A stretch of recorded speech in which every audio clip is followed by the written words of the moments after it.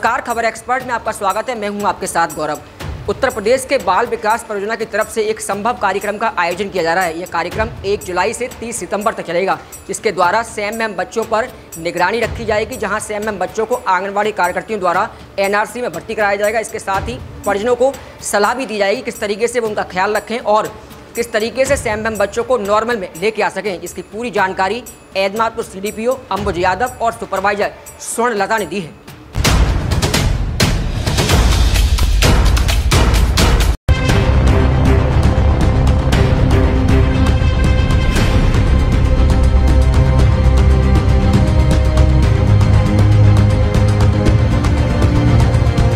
संभव अभियान शासन के निर्देशों के क्रम में जुलाई से सितंबर माह के तीन मंथ में आंगनबाड़ी केंद्रों के माध्यम से चलाया जा रहा है।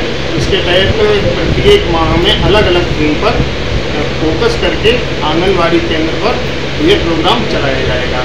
इसके तहत प्रथम सप्ताह, जैसे आप देखेंगे कि जुलाई का प्रथम सप्ताह वहाँ भजन सप्ताह मनाया जाएगा और अंत में जब संभव अभियान समाप्त होगा तो पुनः भजन सप्ताह का आयोजन किया गया है इसमें हमारा उद्देश्य ये रहेगा कि जितने भी हमें आइडेंटिफाई होते हैं उनका संवर्धन करके उन्हें पुनः सही श्रेणी में लाना। इस तरीके से सैम एम बच्चे जो आंगनबाड़ी कार्यकर्तियों के क्षेत्र में होते हैं और वो मिलते भी हैं उसके बाद किस तरीके से वो नॉर्मल कैटेगरी में लेके आएँगे इस संभव अभियान के द्वारा कैसे पूरा होगा हाँ आज ट्रेनिंग इसी परिप्रेक्ष्य में आंगनबाड़ी को ट्रेनिंग भी दी गई है बाल विकास परियोजना एतमाद पर अ, हमारे जो बच्चे सेम कैटेगरी के निकल के आएँगे, उसमें क्या करना है कि हमें विशेष फोकस उन बच्चों पे देना है जो अति कुपोषित या सेम कैटेगरी में होते हैं। उन बच्चों के गृह भ्रमण उनके खान पान के लिए, उनको जागरूक करना है। अगर बच्चा ज़्यादा कमज़ोर है तो उसको एनआरसी में भी लेना है। प्रति बीएचएनडी में भी उन बच्चों का स्वास्थ्य संदर्भन प्रति माह करने के निर्देश दिए गए हैं। साथ ही साथ जो बच्चे हमारे सेम कैटेगरी में आंगनबाड़ी कार्यकर्ती को निर्देश दिए गए जो प्रति सप्ताह उन बच्चों के गृह भ्रमण करें और उनके बेहतर खान पान के लिए उनके गार्जियंस को जागरूक करें। कराया जा रहा है ट्रेनिंग आप संभव अभियान के द्वारा आपकी तरफ़ दी जा रही है।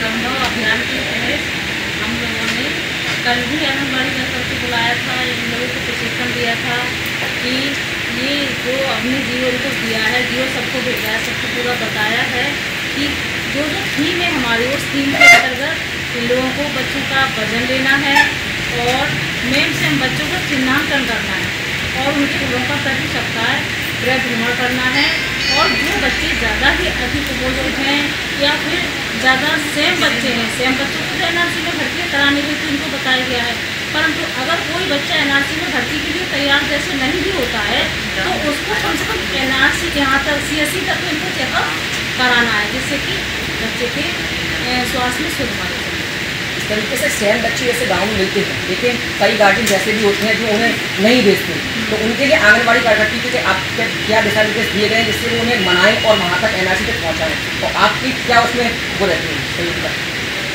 ऐसा है कि इनको, पहले तो कि वर्कर बार बार इनके घर जाती है। कुछ लाभार्थी ऐसे होते हैं, उनको बार बार समझाने पर भी उनको समझ नहीं आता। वो भर्ती कराने के लिए तैयार नहीं होते। उनका कहना ये रहता अस्पताल तक चलेंगे, हमें दवा दिलवा दीजिए। हम भर्ती नहीं करवा पाएँगे, क्योंकि उनके साथ ही समस्याएँ होती हैं कि किसी के परिवार में चार बच्चे हैं।